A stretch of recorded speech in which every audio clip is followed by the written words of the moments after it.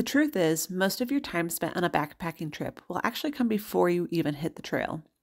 Planning a trip takes a lot of time, but it can be a really fun process.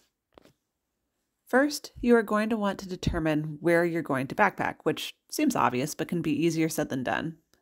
If you're feeling indecisive, one thing you can do first is determine what type of environment you would like to backpack. Do you want to backpack through a forest?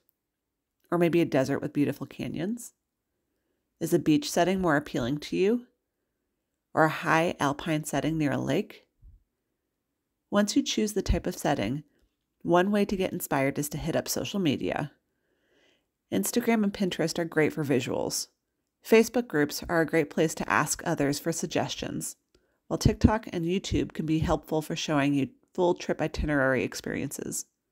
Of course, you can always use a classic search engine and type in backpacking, insert setting, insert state or country. Once you've figured out where you want to go, the next step is to start planning with maps. I'm going to show you an example by planning an imaginary trip.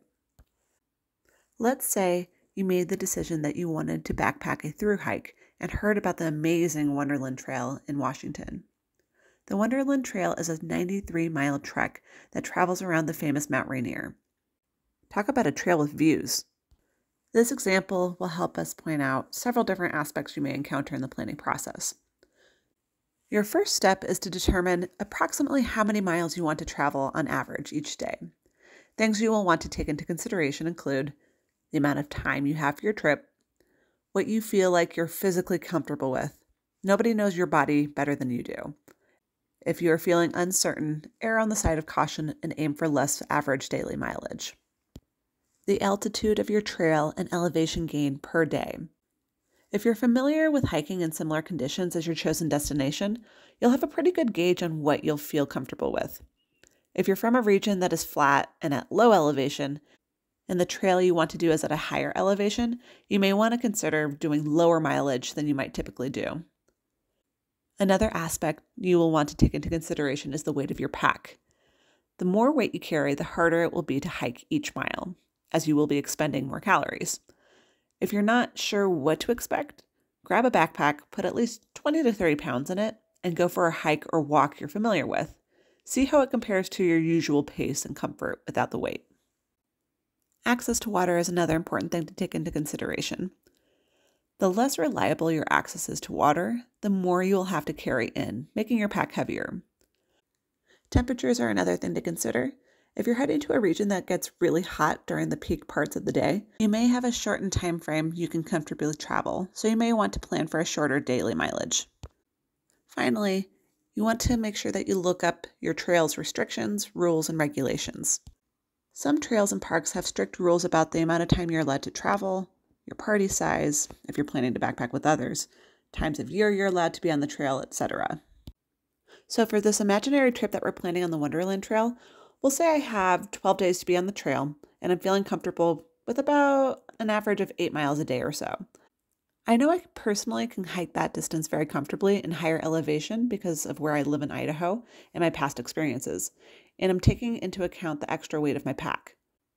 I know some days will be longer and others will be shorter, allowing for some recovery days. This particular trail has consistent access to water, so I don't have to worry about packing in lots of extra water.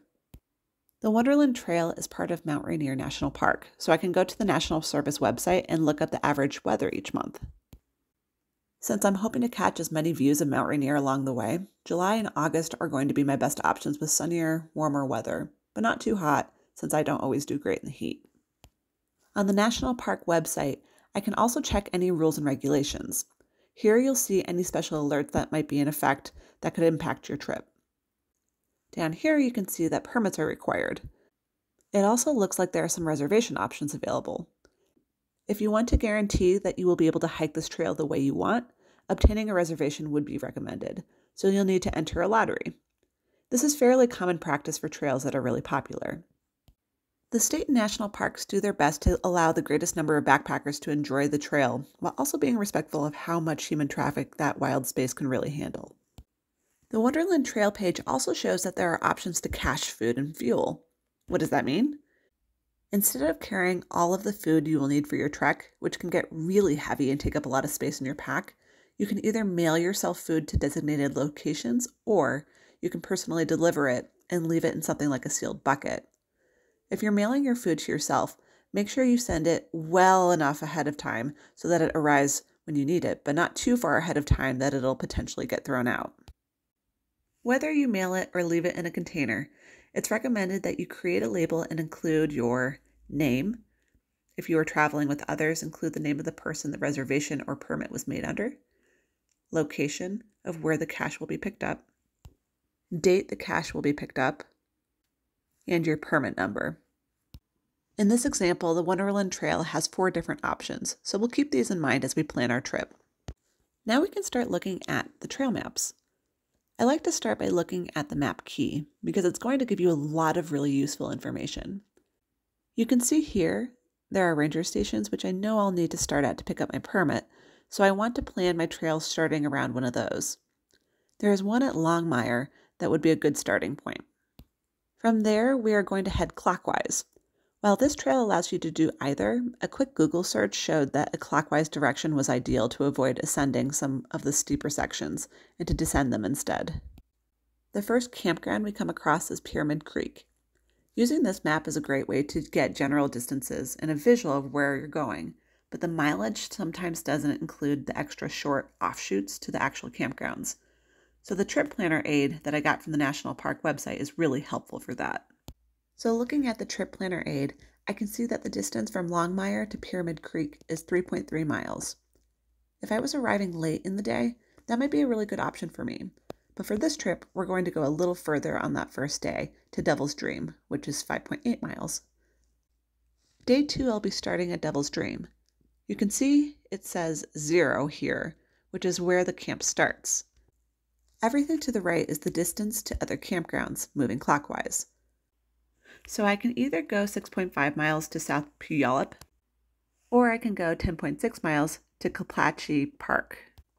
There's another great tool the website provided called the Wonderland Profile.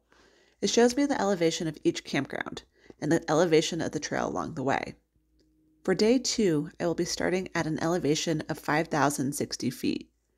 I can see that the trail descends and then ascends approximately 1,200 feet or so. Then it goes down again to South Puyallup River. If I want to keep hiking to the next camp, there would be another ascent of approximately 2,000 feet, which would make my day total 3,200 feet, and there would be extra mileage. So I'm going to decide to stay at South Puyallup.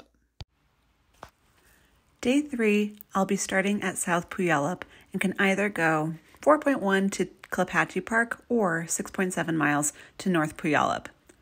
Looking at the elevation map, there is just the one large ascent between South Puyallup and Klapatche and a descent to North Puyallup.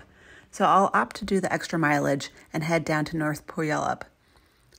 I also need to keep in mind the number of days I have for my permit. So sometimes days with longer mileage are a good idea. I'm going to continue with this process for days 4 to 7 until I get to Sunrise Camp. That day will be a longer one with 8.7 miles, but the important part of this particular camp is the proximity to the Sunrise Ranger Station. Remember the food cache we wanted to store? This would be an excellent place to store it, so we would only be carrying food for seven days, plus extra just in case of an emergency.